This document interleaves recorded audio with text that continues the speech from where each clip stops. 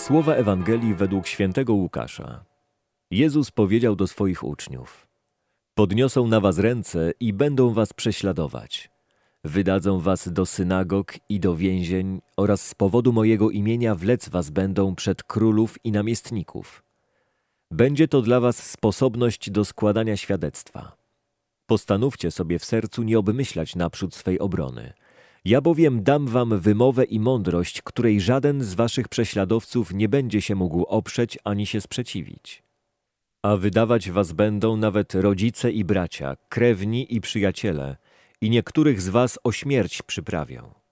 I z powodu mojego imienia będziecie w nienawiści u wszystkich, ale włos z głowy wam nie zginie. Przez swoją wytrwałość ocalicie wasze życie. Dobra nowina, chociaż spisana blisko 2000 lat temu, jest ciągle aktualna.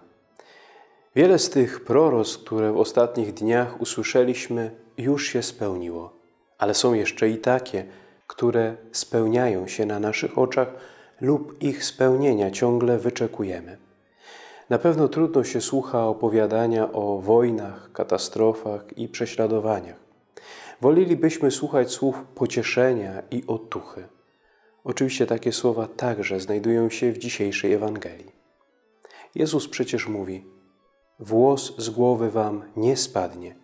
Przez swoją wytrwałość ocalicie wasze życie. Jeśli chcemy ocalić własne życie, musimy być wytrwałymi, bo kto wytrwa do końca, ten będzie zbawiony. Wytrwałość i wierność są synonimami miłości. Ten, kto kocha, ten pozostaje wierny i pomimo różnych trudności jest wytrwały do końca. Pomyślmy dziś o naszym stosunku do Jezusa. Czy jest we mnie wola trwania przy Nim aż do końca, pomimo trudności, jakich doświadczam lub jakie potencjalnie mogłyby na mnie spaść?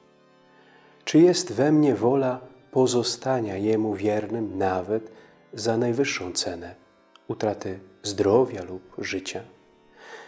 Dziś w naszym kraju nikt nie żąda od nas takiego świadectwa, ale pamiętajmy, że wielu naszych braci i sióstr w różnych częściach świata doświadcza przemocy i prześladowania tylko dlatego, że wierzą w Chrystusa i w Jego dobrą nowinę. Na ile my jesteśmy z nimi solidarni? W jaki sposób ich wspieramy?